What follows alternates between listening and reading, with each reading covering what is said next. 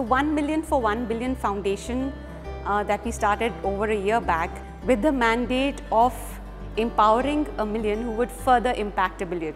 So we are working with a lot of partners in different, uh, in different countries to create local solution by means of employability and entrepreneurship. On the other hand, my fascination for science has taken me in the field of biotechnology and specifically in the field of genomics, which I absolutely uh, am fascinated with.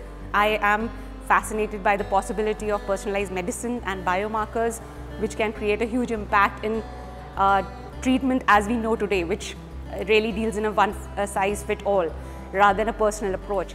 So I'm really fascinated with that and my work mainly involves uh, aspects of this.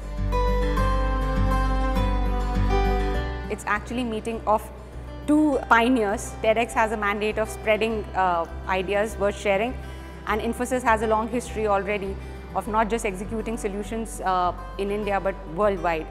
So here the, uh, the ideas would be received by uh, people who are already in the field, who are already executing and I think it's a, it's a very good match and uh, many things can come out of it in terms of sharing ideas and actually having the target audience which is potentially uh, going to execute it as well.